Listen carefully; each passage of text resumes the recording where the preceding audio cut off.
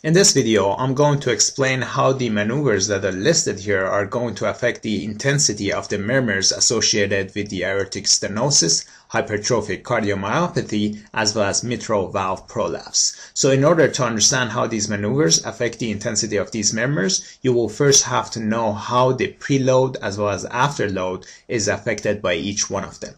So standing from sitting position causes a decreased venous return to the heart. Likewise with the Valsalva maneuver where you are asking the patient to blow air against closed mouth and nose, as a consequence of which there would be increased air pressure inside the chest and so there would be decreased venous return to the heart. So both of these maneuvers will decrease the preload. With hand grip, there is an increased vascular resistance inside the arms, as a consequence of which there would be increased afterload. And then because of the increased vascular resistance inside the arms, there would be a slight increase in preload as well.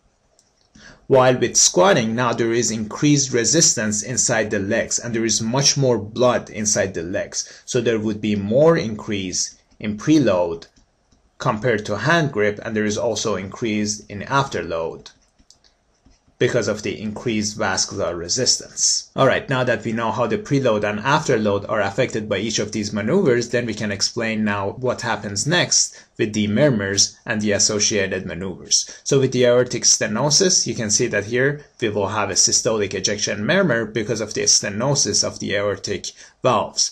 With the hypertrophic cardiomyopathy, we will have the murmur because the mitral valve is hitting against the hypertrophied septum. And then with the mitral valve prolapse, there is a prolapse of the mitral valve inside the left atrium, as a consequence of which there is a mid-systolic click. And this condition is more commonly seen in patients with Marfan's disease, and it's also most common in young females. So in any case, aortic stenosis, the intensity of the murmur decreases with decreased preload. And the reason for that is that if there is not much blood inside the heart, then it cannot hit the valve so hard and thus the intensity of the murmur will decrease. Likewise, if there is an increased afterload, what it does is that the pressure build up on the other side and thus the valve cannot open as hard. So again, the intensity decreases if there is an increased afterload or if there is a decreased preload.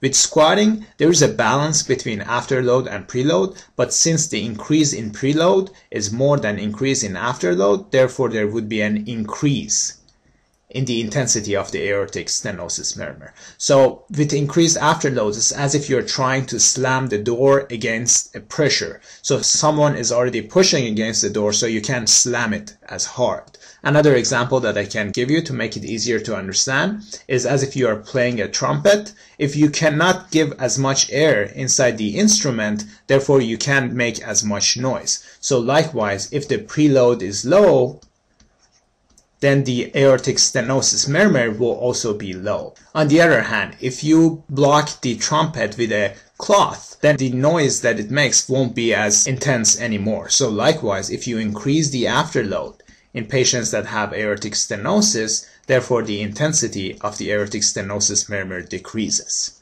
So back to the table.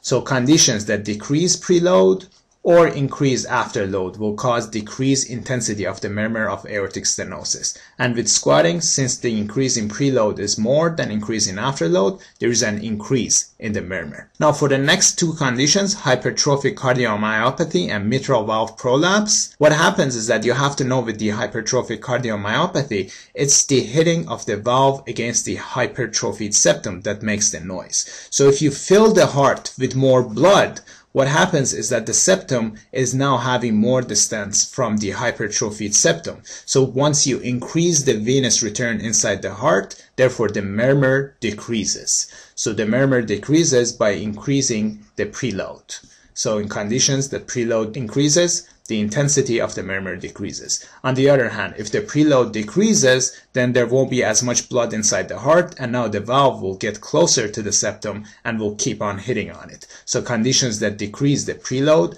will cause increase in the intensity of the hypertrophic cardiomyopathy. With the mitral valve prolapse, what happens with the conditions that decrease the preload?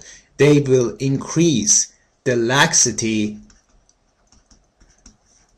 of the chorda tendineae, as a consequence of which now the valve can undergo the prolapse. So conditions that decrease the preload like standing or Valsalva maneuver will increase the mitral valve prolapse murmur because now there is more laxity of the chorda tendineae. On the other hand, conditions that increase afterload as well as preload these conditions will make better alignment of the mitral valve as a consequence of which there would be a decrease in the murmur of the mitral valve prolapse. Now, I should let you know that not all the time you may see these murmurs. For instance, with the mitral valve prolapse, depending on the intensity, if the severity of the mitral valve prolapse and the valve problem is so severe, sometimes the intensity could increase with these maneuvers. So not necessarily all the time in real life you will see these effects, but it's just for the purpose of the examinations that you should know that these are the changes that will happen with the um, maneuvers that I've just described here.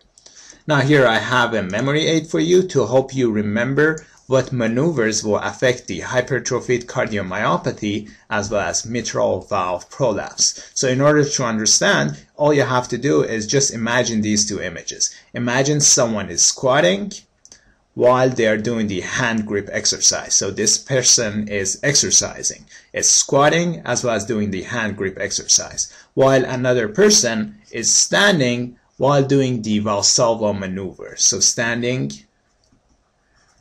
and Valsalva maneuver, and then this other person is, is doing hand grip along with the squatting.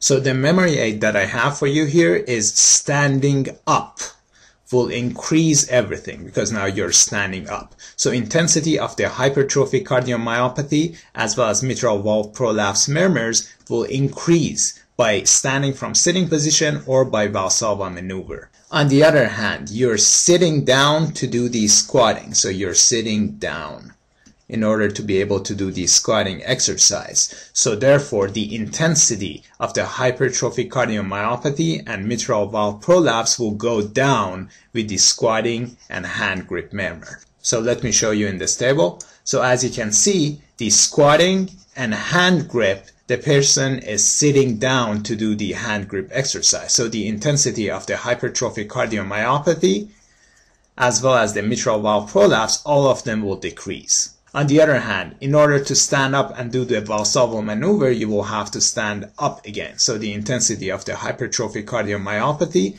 as well as mitral valve prolapse increase. And so again, let me show you the memory aid that I had here. So standing up and Valsalva maneuver will increase the intensity of mitral valve prolapse and hypertrophic cardiomyopathy, while squatting and hand grip, for which you require to sit down, will decrease the intensity of these murmurs. And that concludes our discussion.